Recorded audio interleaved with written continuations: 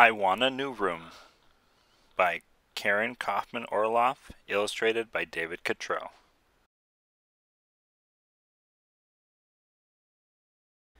Dear Mom, I know you think I should share a room with Ethan now that we have baby Annie, but here's why I shouldn't. When Ethan sleeps, he sounds like the cat coughing up fur balls. Why can't you move Annie in with you and give me my room back? Signed, Your very tired son, Alex. Dear Alex, go bother your father. Signed, Your very, very tired mother. Dear Dad, you have no idea what it's like to share a room with Ethan. He sticks crayons up his nose and barks like a walrus, and he snores like Grandpa Ralph. So now, how about giving me my old room back? Please don't say, go bother your mother. Been there, done that. Love, fed up Alex. Dear Alex, sorry we had to move you out of your room, but Annie's a girl, and Mom says girls need privacy to do girl stuff.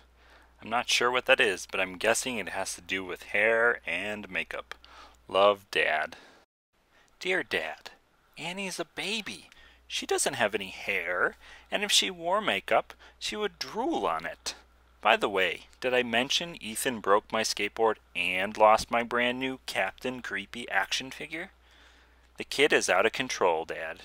Love, your seriously upset child, Alex.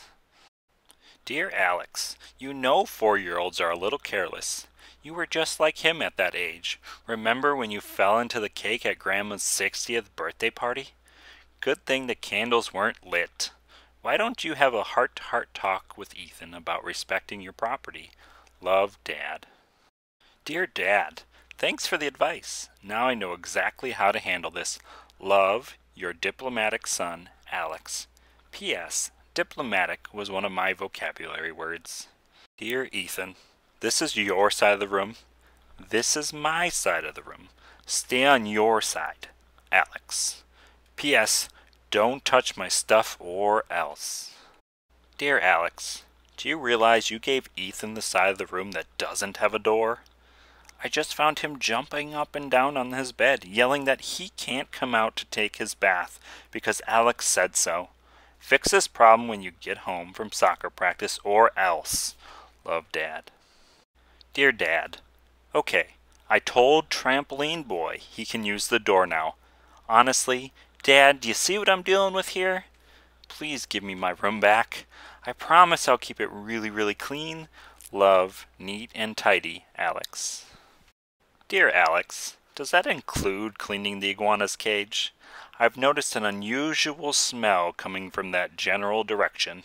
Just thought I'd mention it. Love your concerned father. Dear Dad, let's not change the subject.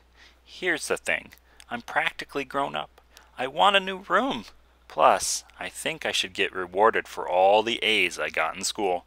Love, Alex the super student.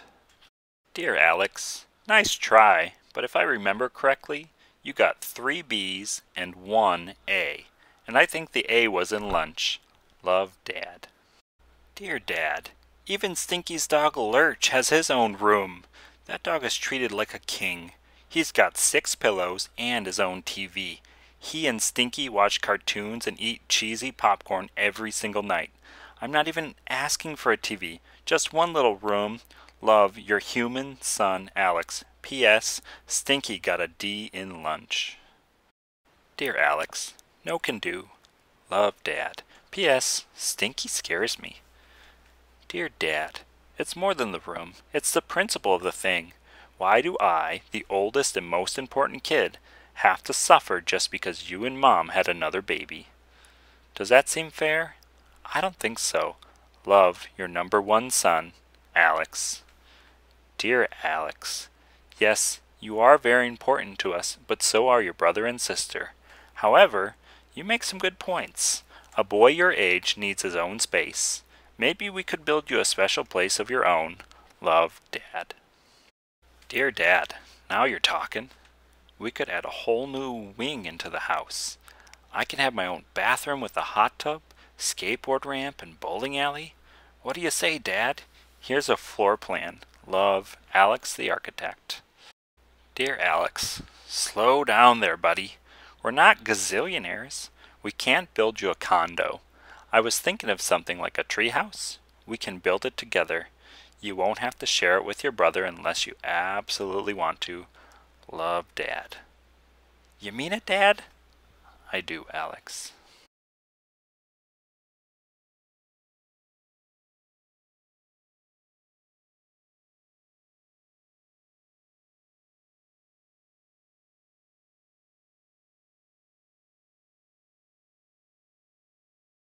Dear Ethan, do you want to play with me in my treehouse?